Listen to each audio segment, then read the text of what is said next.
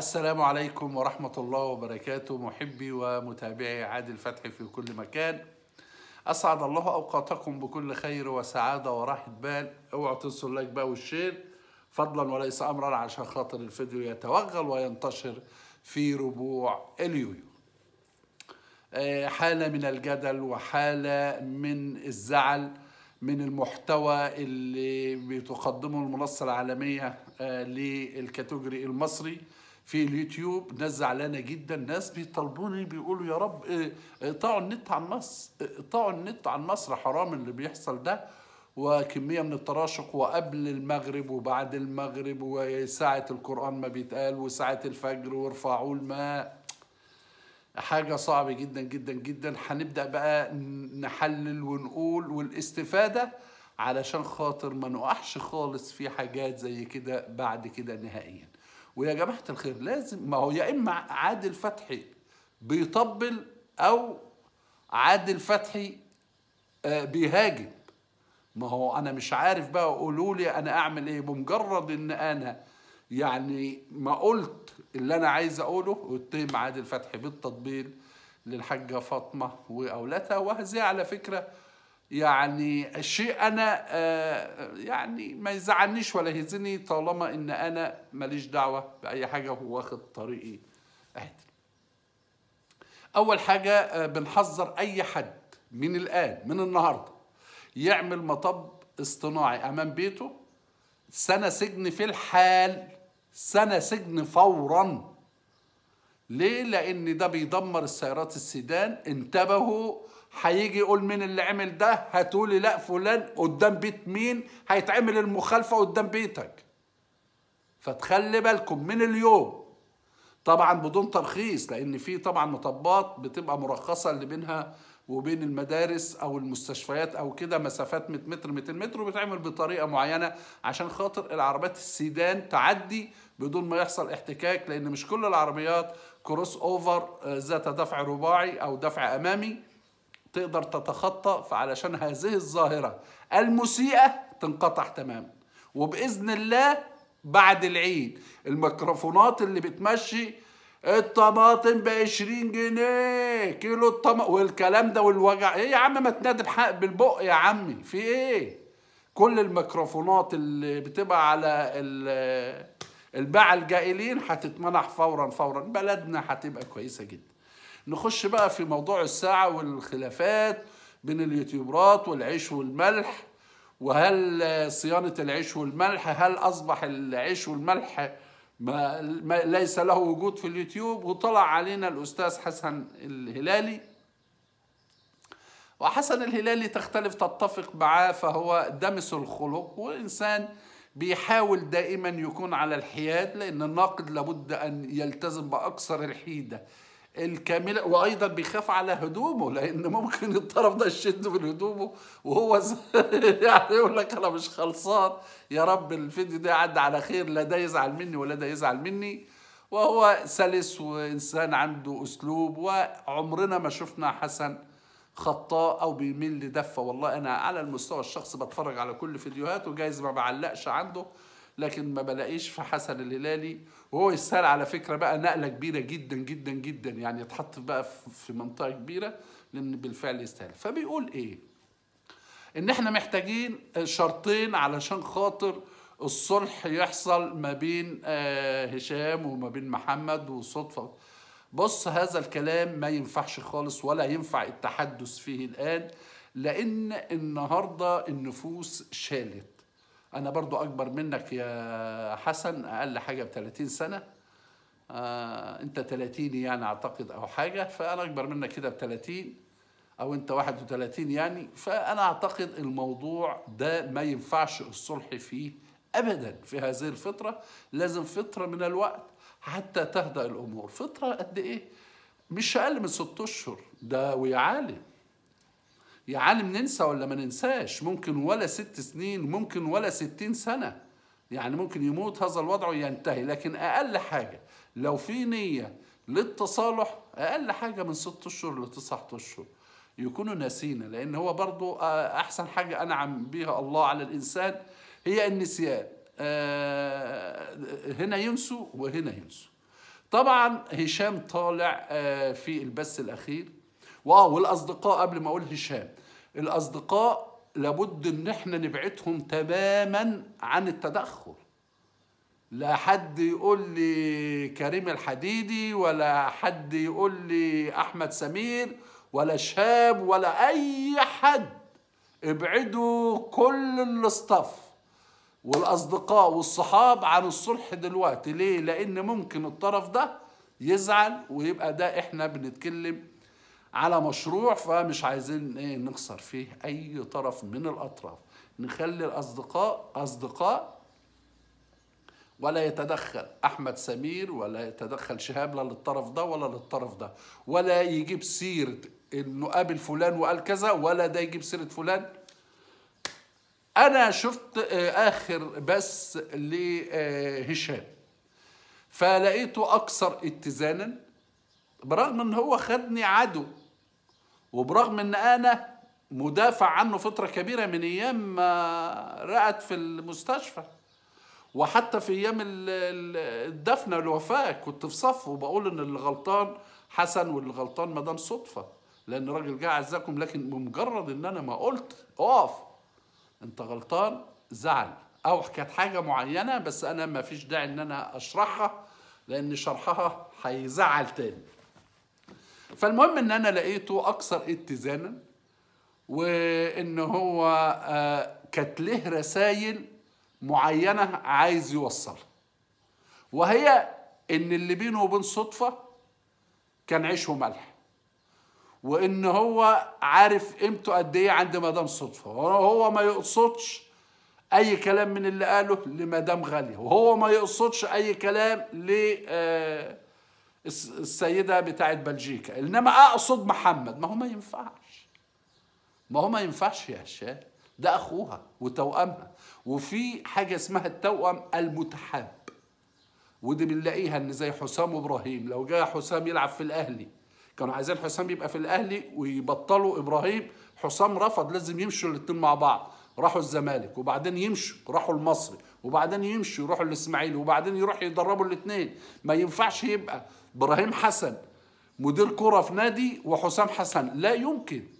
فمش هينفع إن أنت تقول يبقى الخطاب موجه لرأب الصدع بالنسبة لصدفة وفي نفس الوقت متحامل على محمد علشان الفيديو الأخير اللي هو صدر منه. طبعا الكلام اللي قاله محمد بالنسبة لبنوتك أو لزوجتك أو للحاجة أو ليك حتى هو غير مقبول. ولكن أنا زي ما قلت غير مقبول بالمرة. أي إنسان في لحظة الغضب ما تحاسبنيش لأن أنت اللي خلتني أخرج عن السيطرة. ما تجيش أنت تنرفزني وتخرجني عن السيطرة وتيجي تقول لي أنت غلطت فيا. ما هو أنت اللي خرجتني عن السيطرة.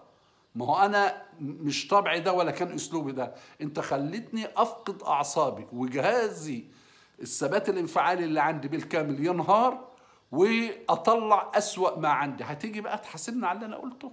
طبعا كامل الإحترام لبناتك الاتنين. ربنا يخليهم لك ويبارك لك فيهم ولزوجتك الفاضلة ولأسرتك من أكبر واحد فيها لأصغر واحد فيها. ولكن قدر الله وما شاء فعل. زي أنا ما قلت. لما نيجي بقى وهتزعل برضو مني تاني في النص التاني تيجي تنكر وتقول لا أنا ما حدش كبرني. ليه يا عم هشام؟ ما إحنا مع بعض. ليه؟ ليه ما حدش كبرك؟ لا مها هي اللي كانت البداية لانطلاقة هشام. جايز ما توهجتش قوي لكن هي اللي لمعت فيك هي اللي ظهرتك هي اللي بينتك هي اللي دايما كانت بتبص معاك. آه، ساعدتك كتير جدا في البداية. أنا مدام مها ساعدتني كتير جدا في قناتي. ولو نكرت ده أبقى راجل يعني مش منصف وقفتك مها عند حاجة معينة زي لاعب في الكورة لعب في النادي الأهلي فمستواه وقف.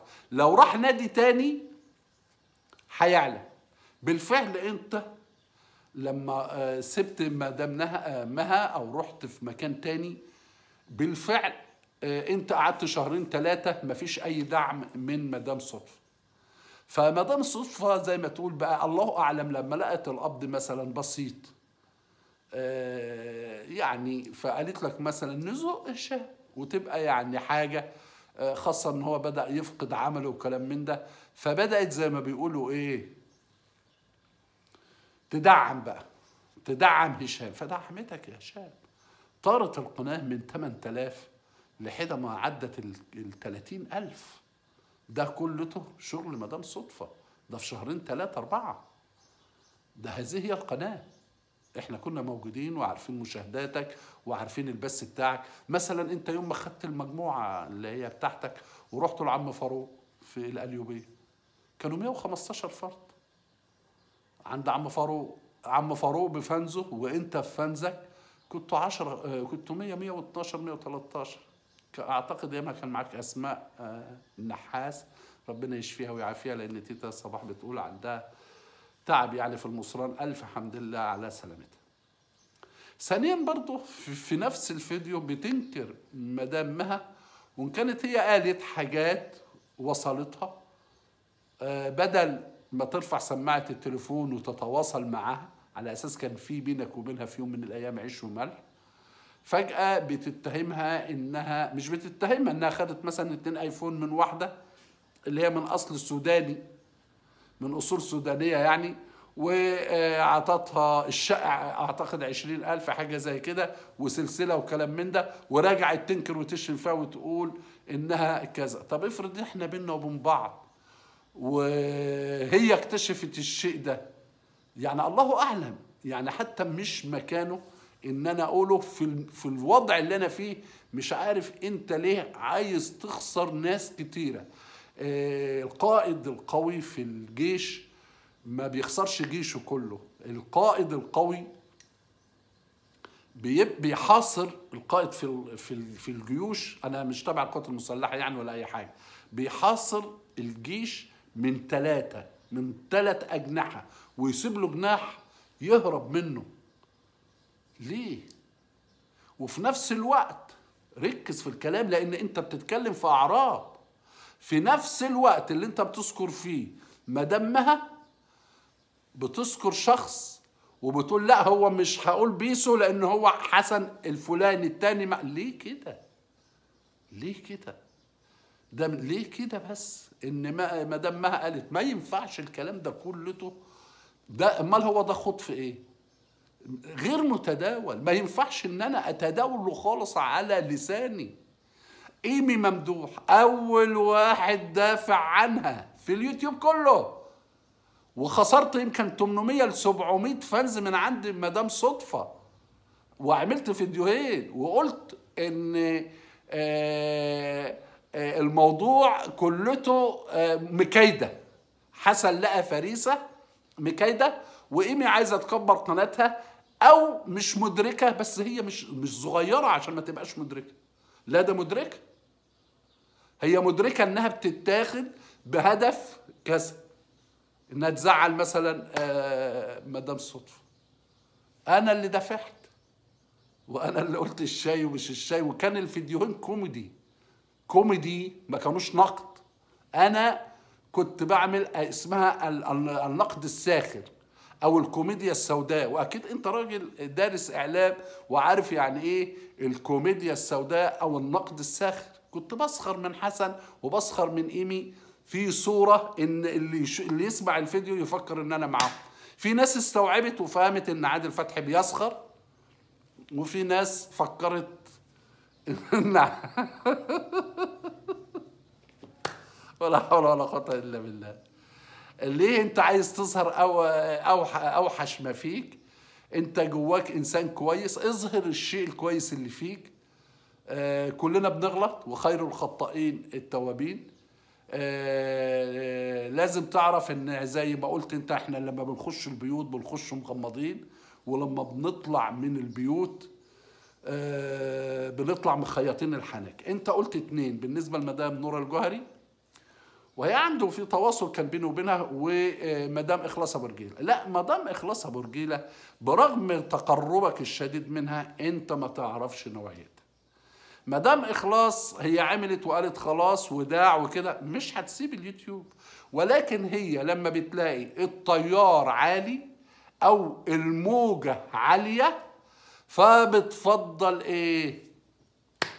الانسحاب في هدوء أو البيات سواء شتوي أو صيفي إلى أن تهدأ العاصفة وتخش. وده على فكرة تكتيك صح لأن هي هي مش نطت من المركب اللي فيها شاب.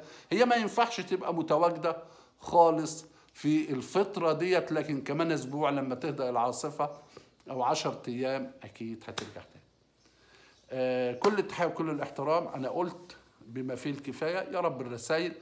آه هشام بيوصل رساله لمدام صدفة إن هيحافظ على العيش والملح اللي كان بينه وبينهم. آه هو زعلان من محمد بس. ما هو أنت يا هشام اللي كتبت على المنتدى عشان خاطر الحاجة فاطمة ومحمد بس. ده الكلام ده من 15 يوم. ما أعرفش أنت مسحته بقى دلوقتي ولا لأ. فهو ده محمد. فما تحاسبش شخص فقد السيطرة على أعصابه. آه أنت برضو اتناولته وتناولت والدته وتناولت إخواته البنات. أنت لدرجة قلت ما فيش في البيت ده غير الضني والوحيد الضني اللي أثناء البث اللي كان يعني بيحط عليك بس بأدب برضه. يعني هو الوحيد. يعني كلك كانوا بيدافعوا آه إن ينتهي الوضع والضن الوحيد اللي كان بيقول له كذا بس بأدب يعني. كل التحية وكل الاحترام لمحبي ومتابعي عادل فتحي في كل مكان والسلام عليكم ورحمة الله وبركاته.